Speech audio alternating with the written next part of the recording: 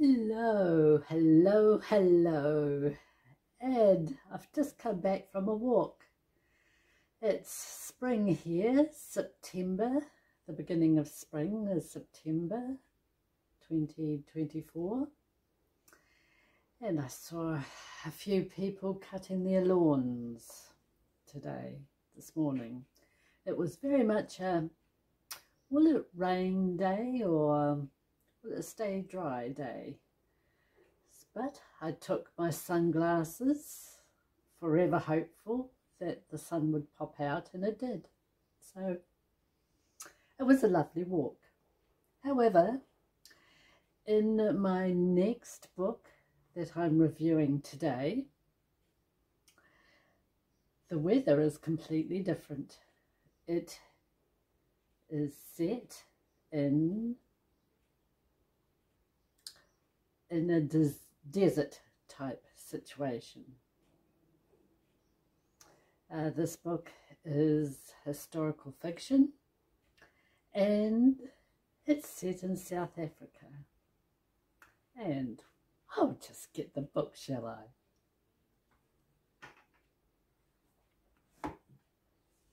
Yes, it's a paperback read and I actually won this. Uh, I won the whole series and there is six books in the series and I've read five of them so far. It's taken a long time. I'm not one of these people that um, decides to read one book after the other in a series. I like to mm, have a little taste of everything, you know what I mean? Don't need to stick to the same thing all the time, do you? It gets quite boring, doesn't it? So here we go. Here's um, the book I'm reviewing called Langbourne. There's, this is the name of, uh, uh, the surname of two brothers. Okay, right, well, let's get started.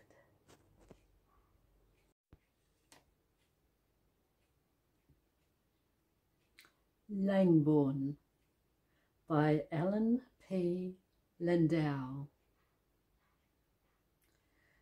The short and tell of it is, both boys can see their future lo looks bleak if they stay where they are. So a once-in-a-lifetime opportunity arises where they can set sail to South Africa to practice an idea that they are hoping will work.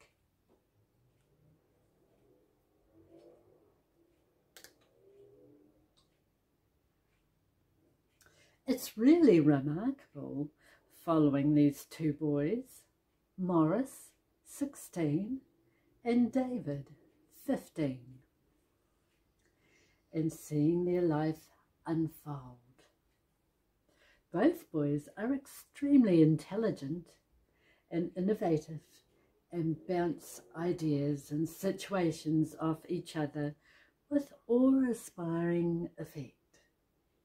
I really can't believe that this is based on a true story because the ideas they come up with is outstanding. Although this is a historical fiction book, Morris and David are extremely funny together, which gives this book a feel-good opposed to the serious stuff. As with most historical fiction, I learned quite a bit about the South African culture and I was fascinated by the click language and I went through the rabbit hole of YouTube to find out more on this unique language. And for example, I went something like this.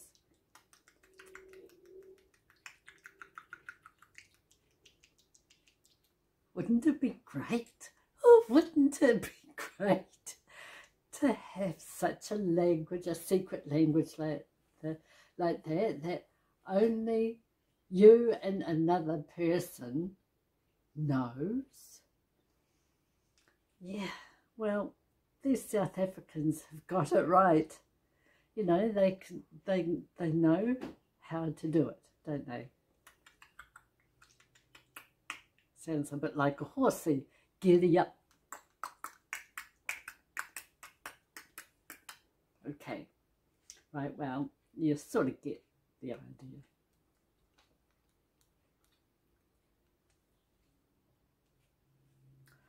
I was also delighted to add another Afrikaans word to my vocabulary. Hmm. Now I'm going to butcher this word. I'm so sorry. But, um, you know, like any other reader, I'm a reader. this is totally out of my comfort zone doing these YouTube videos. So, the word is goeie more. And I didn't put what it actually meant. but there we go. I tried my best and hey, give me kudos for actually trying. And I was terribly excited when I read the Afrikaans dessert, milk tart. I enjoyed the scenery, the safari animals, and some of those were scary, and I certainly wouldn't like to encounter them. For example, the lions and the tigers, and a few more. I'm quite happy looking at them in zoos. And I'll just play around with this um, uh, tablet for a minute, but I did actually pick up two quotes. I mean, I could find them in the book themselves, but I like to be creative, you know. So um, I stuck these two on Instagram, so bear with me for a minute or two.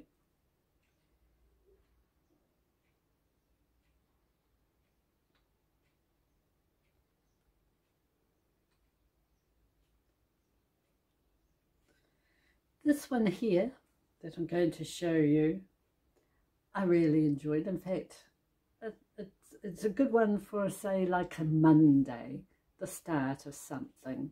Uh, today is Tuesday, but hey, could be Monday on the other side of the world for all I know, or it could be Monday in the future, couldn't it? Or it could be Monday in the past, or it could be a Monday on a Wednesday. Who knows? Anyway, here it is. Oh, can you see that? Don't know if you can see it. I'll read it to you anyway, so you got more of an idea of what it says. And a new day, a new adventure, a renewed excitement and hope. Now, isn't that lovely? I do like Alan Landau's um, way of putting things. And I'll just um, go along to the next one, um, which I think was genius. I really do. It was another sort of like um, signs and code sort of language and uh, in this book they actually use it a lot um, mainly because um, in in the in in this book anyway they didn't have any other sort of communication from town to town apart from telegrams you know the old telegrams and telegraph machines so they had to, uh, both brothers had to communicate if one was in another town. So they made up these codes so that nobody else could understand their business and what they were going on about because eh, you don't want people to know your business, do you? Gosh, no, that would be no good at all. That's not PC at all. So anyway, here it goes, and I'll just I'll just recite this. Righto, so let's call cigarettes cats because they both can they both start with the letter C. And I'll just uh, show you um, that too. Uh, yeah. Don't know if you can see that very well. But uh, these are early, very early ones of my Instagram stuff. So, um, yeah, pretty basic. But it gets the message out there and that's all I'm worried about. So yes, yes, okay. Now um, I'll just go back to uh, the finish now.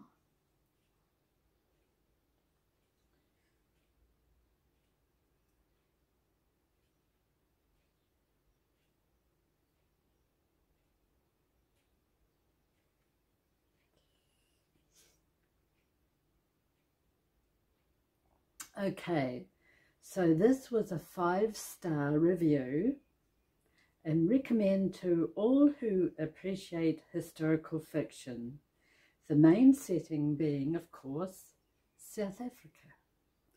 And this book goes deeply into the tobacco industry, which I found extremely interesting, especially the problem solving the two brothers encountered in the way they communicated.